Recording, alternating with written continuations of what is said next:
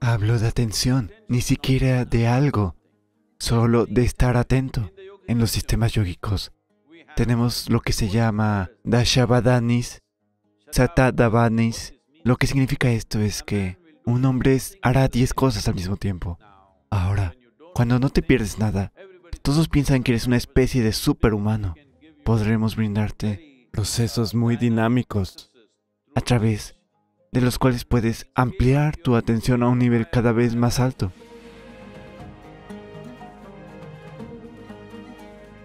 Mi pregunta es, ¿qué significa el enfoque para ti y de qué manera podemos aplicar el enfoque en nuestra vida diaria? Entonces, ¿cuál es tu definición de enfoque? Muy bien. Hay muchas maneras de escribir esta palabra. En lugar de decir enfoque, si usas la palabra atención, ¿estarías de acuerdo en que atención y enfoque son casi lo mismo? Hay una pequeña diferencia. Hay matices. Pero cuando dices enfocar, es como enfocar una luz en algo. Significa solo un foco es siempre un punto. La atención puede ser mucho más amplia. Mira, ahora mismo, si tienes una visión clara, tengo problemas para ver a ese joven. ¿Por qué lo mantuviste en la oscuridad allí, en el salón? Pero si el salón estuviera bien iluminado, no tendría que enfocarme para ver a las personas que están sentadas aquí. Solo necesito atención. Si estoy atento, veré a todas las personas aquí como son. Pero ahora me intereso en este joven. Entonces, Necesito enfoque. Si solo tuviera enfoque, sin la atención. General sobre todo lo que me rodea, hablo de atención indiscriminada, atención ni siquiera sobre algo, solo estar atento, porque solo porque hay un cierto nivel de atención y conciencia dentro de ti, incluso sabes que existes. De lo contrario, digamos en el sueño, en tu experiencia, ni existe el mundo, ni tú existes. Todo lo que ha sucedido es que no hay atención. Porque no hay atención, no hay percepción de ningún tipo. Entonces lo primero es la atención, que haya una captación general de todo. Luego hay un interés particular. Entonces, la enfocamos hacia ese interés en particular. Entonces, ¿cuál es el propósito o cuál es la definición de enfoque? ¿Cuál es el uso del enfoque ¿A dónde nos puede llevar el enfoque? Nos enfocamos en algo solo porque nuestra atención no es lo suficientemente aguda. Si nuestra atención fuera muy aguda, no necesitarías enfocarte en nada. En los sistemas yógicos tenemos lo que se llama Dashavadanis, Shatadavanis lo que significa es que un hombre hará 10 cosas al mismo tiempo. Otro hombre hará 100 cosas al mismo tiempo. Es decir, articulará una melodía musical en particular. Al mismo tiempo, calculará un problema aritmético muy complejo. Al mismo tiempo, escribirá poesía. Al mismo tiempo, así, hará 10 cosas o 100 cosas. Hay gente así.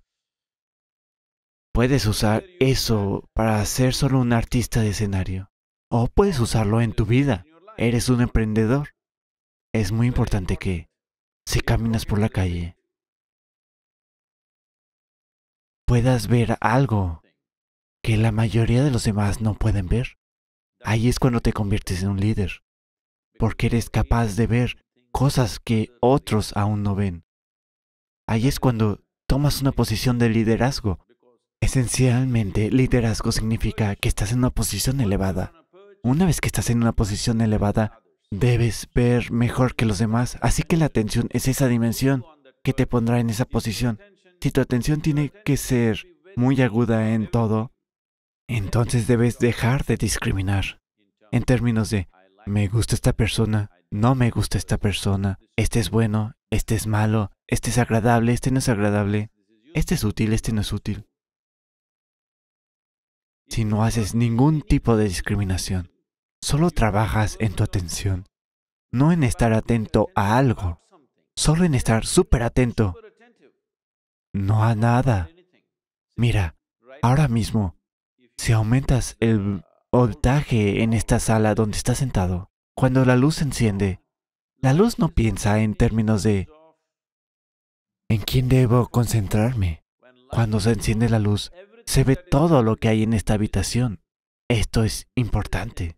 Esto es un aspecto muy importante del proceso yógico, que seguimos trabajando en nuestra atención, que seguimos ajustando nuestra atención a un nivel cada vez más alto, un voltaje e intensidad más alto. Ahora bien, no alentamos el enfoque, porque el enfoque significa consolidar toda esta atención y ponerla en una persona. Supongamos que inviertes todo tu enfoque en un punto y no encontraste nada que valiera la pena en ese lugar. ¿Qué harás al final de tu vida? Esto es lo que ocurre a la mayoría de las vidas. Ahora solo trabajas en hacer que tu atención en sí misma sea tan aguda que incluso si alguien se enfoca en algo, no será tan agudo. Si tu atención es tan aguda, no perderás nada de este universo. Ahora, cuando no te pierdes de nada, todo el mundo piensa que eres una especie de super ser humano. No, no, no. No se trata de ser superhumano.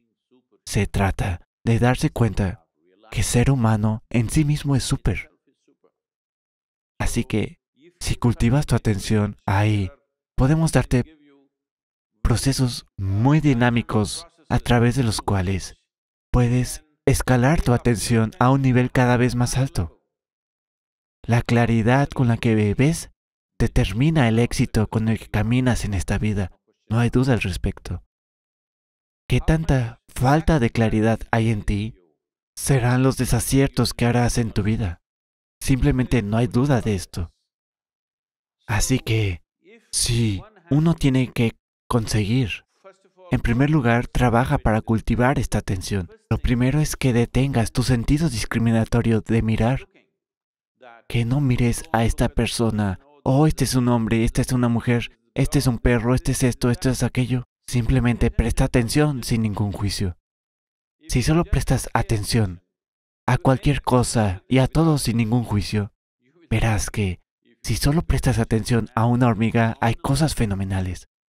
Estás en Alemania, quién sabe Si le prestas atención, suficiente a una hormiga, puede que se te ocurra el mejor automóvil del planeta. porque no he visto ninguna máquina moviéndose con tanta destreza como se mueve una hormiga. Pero creo que nadie le ha prestado suficiente atención a la hormiga. Así que la atención, elevar la barrera de la atención es más importante que el enfoque. Para fines inmediatos, si necesitas enfocarte en algo, puedes hacerlo. Pero ahora mismo puedes hacer un experimento simple.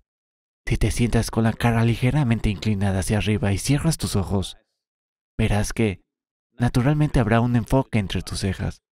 Pero puedes ser consciente de muchas cosas. La gente que te rodea, tu respiración, la sensación en tu cuerpo. Puedes ser consciente de todo y aún así estar enfocado. Entonces, el enfoque mental es una posibilidad limitada. Pero la atención, la mejora de la atención, en últimas te lleva a un espacio donde te vuelves consciente o, en otras palabras, súper consciente. Es solo consciente, pero la gente piensa que eres súper consciente. Debido a esto, captas todo tal como es. Lo más importante para esto es que tu mente no funcione como un prisma, que distorsiona cosas y crea diseños donde no existen. Tu mente se ha vuelto como un simple espejo, simple muestra todo tal como es.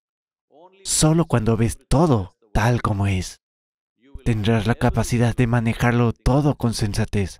De lo contrario, haces un lío de muchas cosas. Y esto es muy importante para un emprendedor. Porque tú no tienes un trabajo.